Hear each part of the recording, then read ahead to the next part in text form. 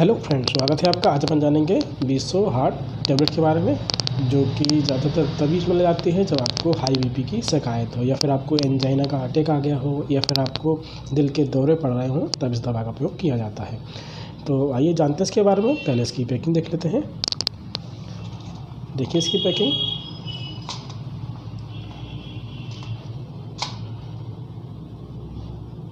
इसकी जो मैन्युफैक्चर है मैनकाइंड फार्मा के द्वारा ये बनाई गई है। इसकी जो एमआरपी है, वो भी देख लीजिए सेवेंटी टू रुपीज़ है। यानी कि बहत्तर रुपये है। इसमें जो ड्रग है बीसो प्रो लॉल वॉर्मेट है, जो कि पाँच एम इसमें मिला हुआ है। और इसमें जो टेबलेट है, वो भी देख लीजिए।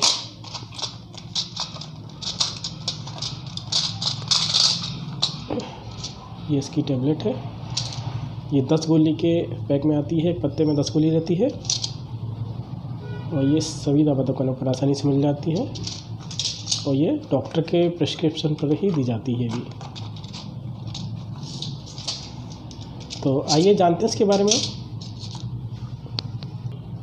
यह जो दवा है बीटा ब्लॉकर्स नामक दवाओं के समूह से संबंध रखती है या इससे संबंधित है। इसका जो उपयोग है, रक्तचाप में, उच्च रक्तचाप में या फिर एंजाइना के अटैक में या दिल संबंधी सीने के दर्द में या फिर आपको दिल के दौरे आ रहे हों या फिर भविष्य में दिल के रोग को रोकने के लिए ये उपयोग में ला जाती है। और इसका जो उपयोग है ओवर एक्टिव थायराइड ग्रंथि के लक्षण जो है, उसको भी कम करने के लिए उपयोग में लाई जाती है। और यह जो दवा है डॉक्टर के द्वारा निर्देशित और प्रिस्क्राइब भी की जाती है। अब इसमें जो ड्रग है, उसके बारे में बात कर लेते हैं। इसमें जो ड्रग है, वो है बीसो प्रो लोअल फॉर्मेट यह जो है, उच्च रक्तचाप में और आपके दिल और रक्त वाहिकाओं में कुछ रासायनिक प्रभाव को रोकने का काम करती है।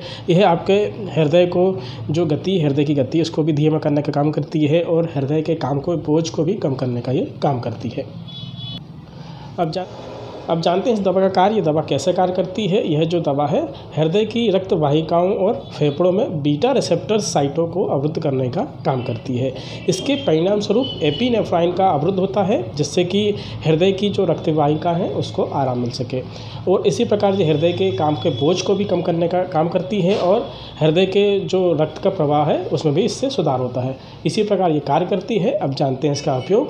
इसका जो उपयोग है, पहला हाइपरटेंशन में या फिर हाई बीपी में। या फिर हार्ट फेल होने पर ये उपयोग में लाई जा सकती है, या फिर दिल के दौरों में, या फिर एंजाइना के अटैक में ये उपयोग में लाई जा सकती है। तो ये थे इसके उपयोग। अब जानते हैं इसके साइड इफ़ेक्ट के बारे में। इसका जो पहला साइड इफ़ेक्ट है वो है जी मचलाना, उल्टी का होना, थकान का लगना, सिर का दर्द करना, या फिर कब्जे का बनना, या फिर चक्कर का आना आदि इसके साइड इफ़ेक्ट है। इसलिए इसको डॉक्टर की सलाह से ही लेना है। बिना डॉक्टर की सलाह से ना लें। इसका जो डोज़ है वो भी बता देते हैं।